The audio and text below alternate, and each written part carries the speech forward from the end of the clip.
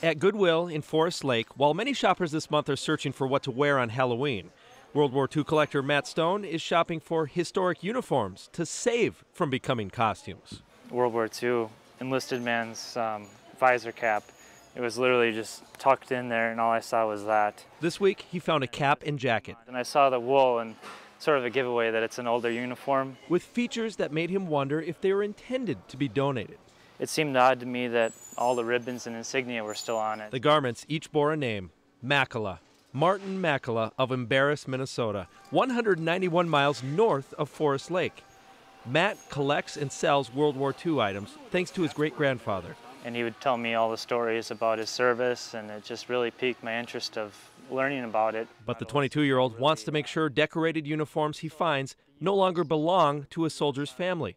So we helped him track down the Makela descendants. So, what do you think about that? Uh, really, kind of disbelief. Martin Makela's niece says the uniform has been missing for many years, stolen out of the family homestead up north. It's something we didn't think we'd ever see again. The family actually believes the jacket and the hat belonged to two separate soldiers, brothers, who both served in World War II. Martin, on the right, died in 1969. His brother Jack, next to him, died in 1981. Neither had children, but their nieces can't wait for the family heirlooms to be returned. And this young historian can't wait to be the one to do it.